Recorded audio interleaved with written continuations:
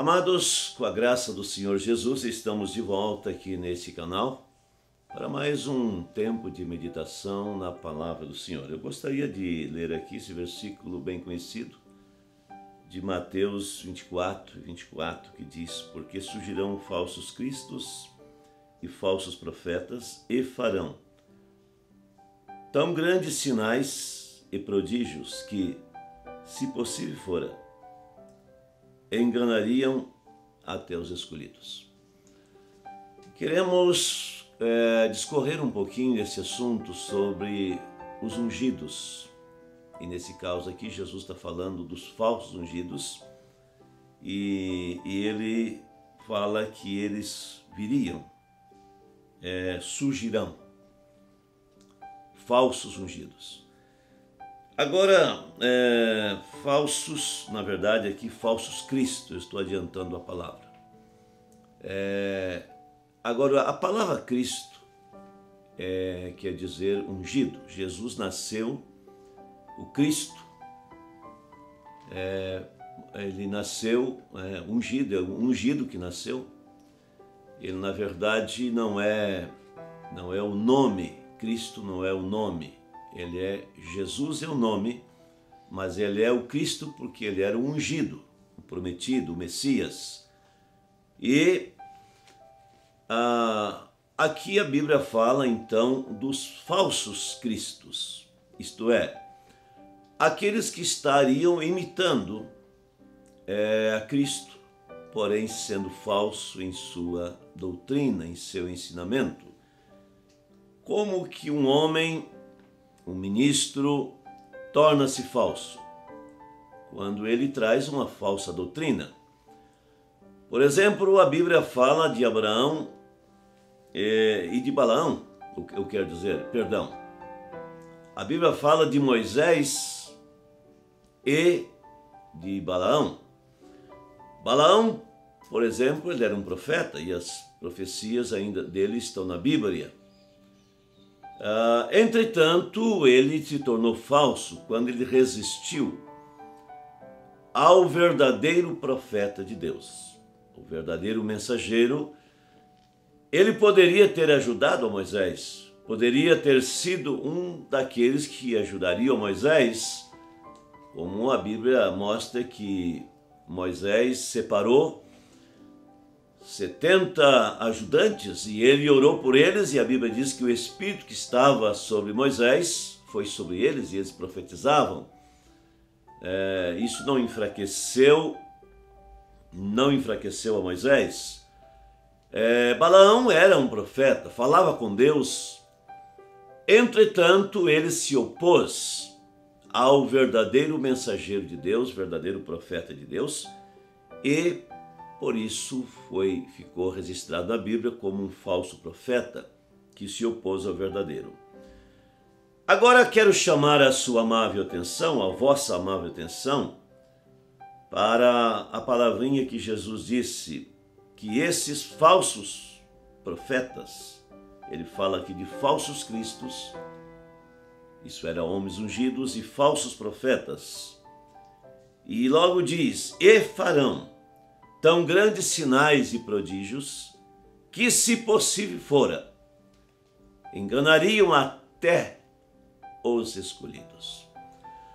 Veja você que não é algo pequeno, que não é alguma coisa simples.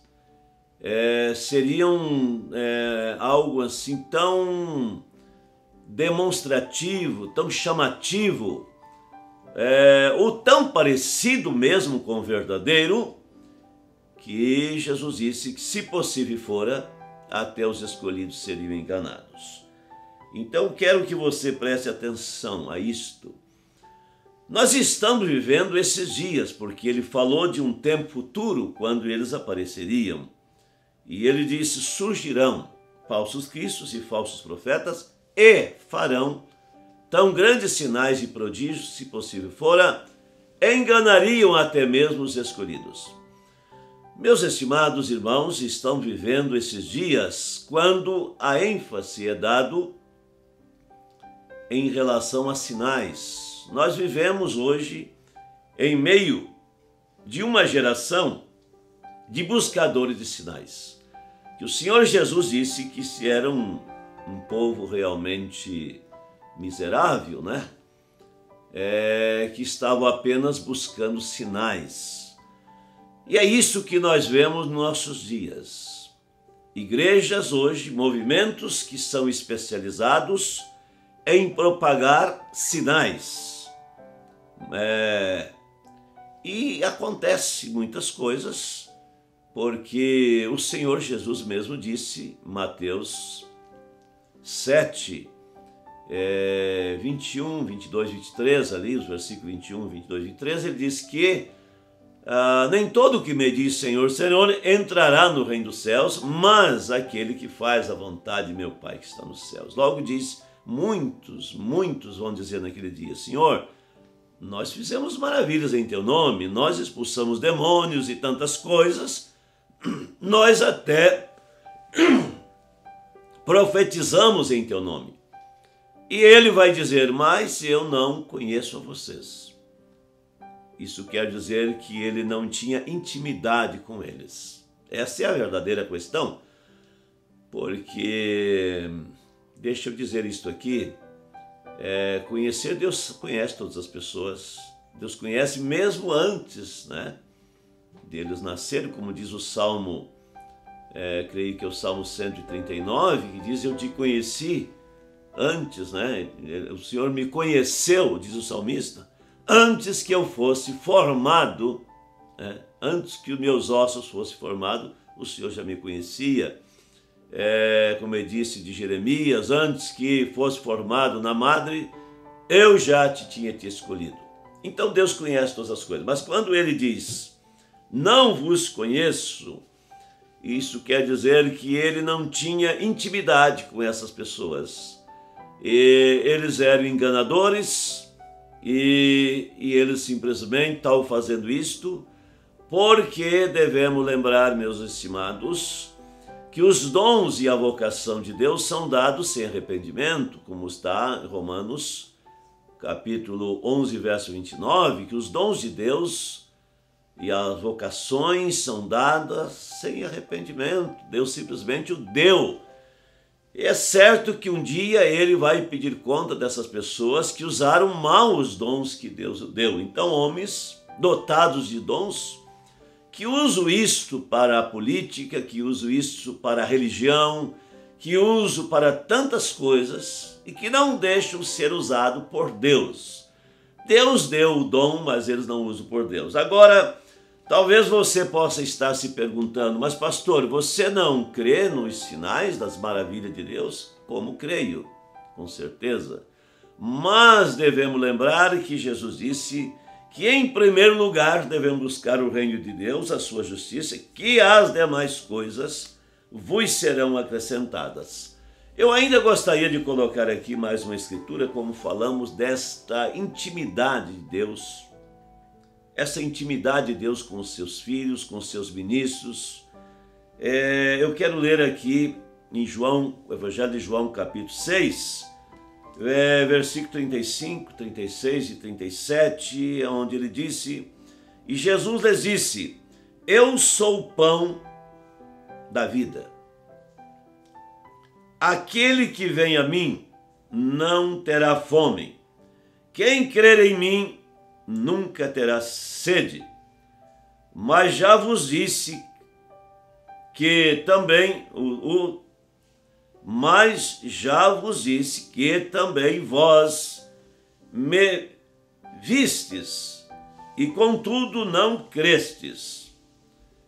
É, contudo, contudo o que o Pai me dá virá a mim e o que vem a mim, de maneira nenhuma o lançarei fora.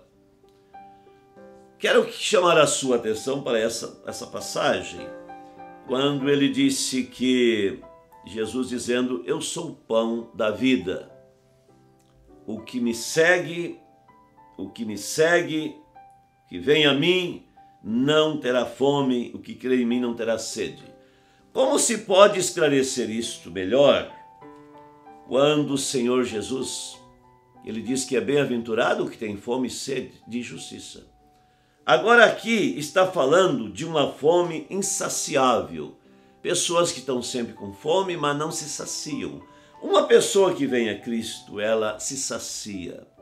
Ela recebe esse verdadeiro alimento e ela realmente descansa em Deus. Ela não está faminta, sedenta o tempo todo, uma fome, uma sede insaciável. Não.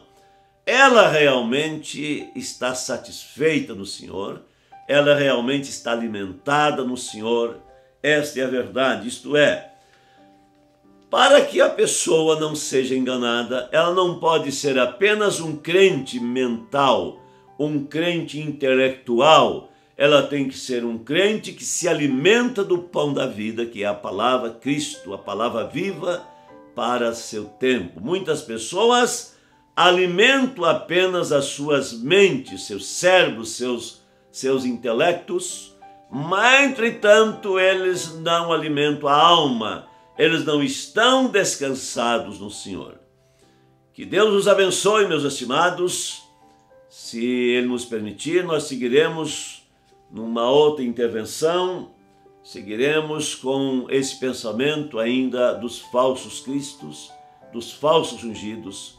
Que o Senhor vos abençoe, que o Senhor vos dê saúde, que o Senhor vos dê entendimento para compreender os desígnios do Senhor. É a minha oração em nome do Senhor Jesus Cristo. Amém.